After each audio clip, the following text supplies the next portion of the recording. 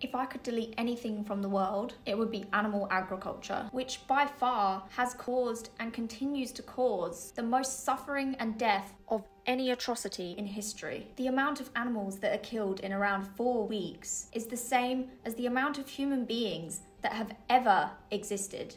And every single one of those animals was an individual experiencing the world, a someone with a personality, a family, emotions, and a desire to live. Every day, all over the world, there are billions and billions of animals suffering in factory farms and murder factories. Human beings have created a living hell for animals. We're breeding them to grow too fast, or to produce too much milk or too many eggs forcing them to live in horrible conditions, mutilating them as infants, separating them from their families, and worst of all, subjecting them to the utter terror and fear of a slaughterhouse. And all of this for what? For human greed. Not because we need to, but because we want to. There is absolutely no justification to be growing food off of the bodies of conscious feeling creatures. We can make amazing foods, replicas of meat, dairy, and eggs from plants. And knowing all that we know about animals, their sentience, their ability to feel pain and suffer, but also to experience happiness and joy, and the obvious fact that they don't want to die, I'm sure that we can all agree that they don't deserve to be treated with such brutality and contempt